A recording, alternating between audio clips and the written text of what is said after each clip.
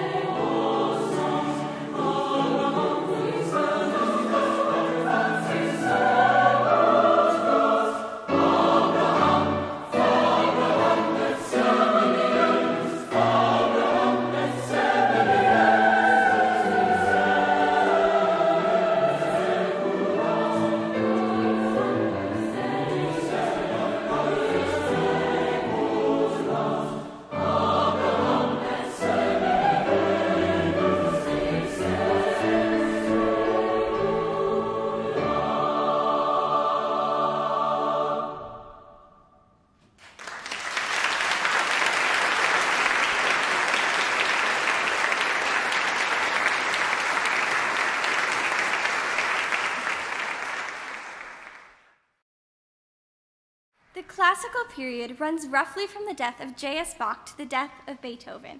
Polyphony went out of style, and a more simple, lyrical technique marks the work of composers like Mozart and Haydn.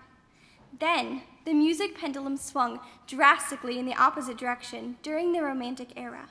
simple and lyrical, was replaced by a full, rich sound created by large orchestras and choirs. Composers took the music of the church and wedded it with the drama of opera. Giuseppe Verdi was one of the best. Hold your necks during the next two pieces. There is a risk of whiplash. I will also call your attention to the bass drum, so be prepared in the second piece in this set. I don't want to scare anybody.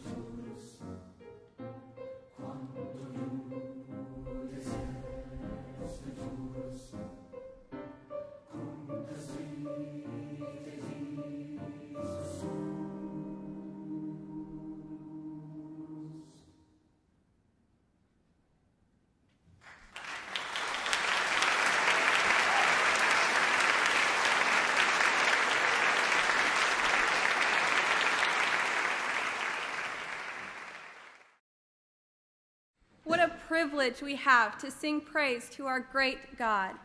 The music of worship is a soulful expression of our love and gratefulness for what God has done for us. Music of the heart has a unique color as well.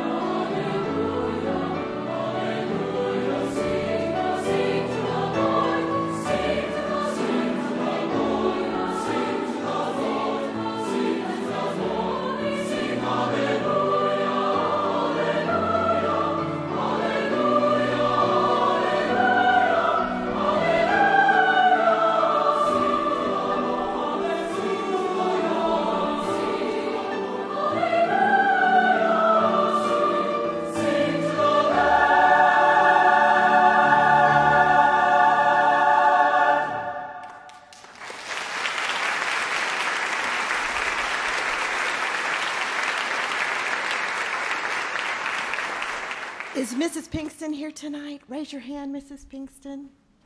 Here she is. We have so loved singing this work.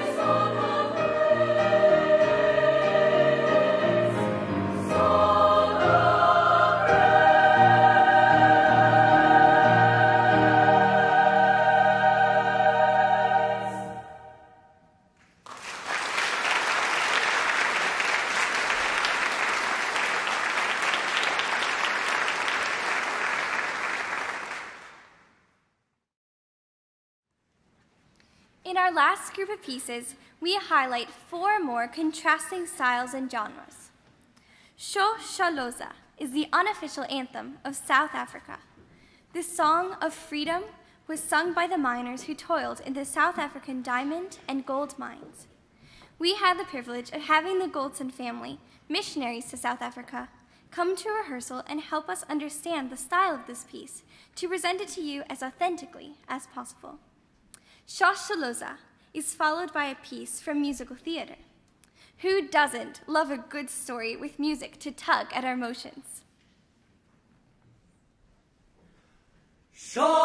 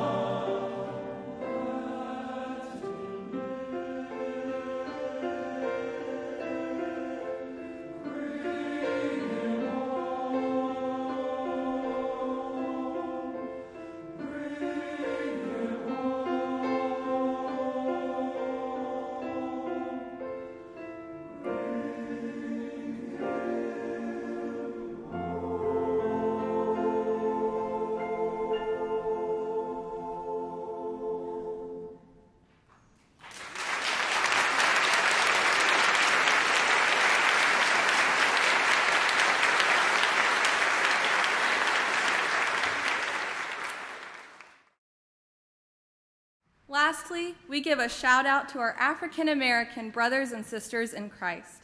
Our first piece is a spiritual, taking us back to the dark days of slavery. The choir sings, prays, and shouts their deep felt petition to God. And we close our concert honoring the African American gospel tradition. Gospel arose after the emancipation of the slaves and prays for God's deliverance. Learning how to sing this piece from our black brothers and sisters, I think you'll see it's a song to be sung with every fiber of our being.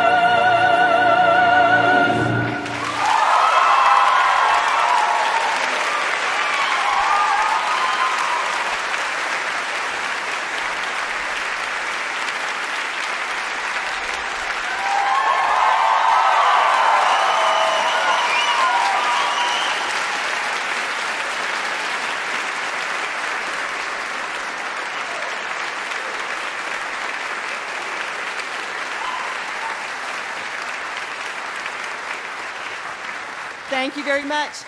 We have a tradition in youth singers to sing a benediction song at the end of every concert.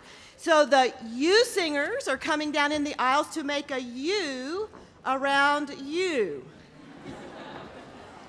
we say in the university singers, we say, once a youth singer, always. always that's right. So if you're in the audience and you've been in Youth Singers before, we'd love for you to stand right where you are and join us in this benediction song.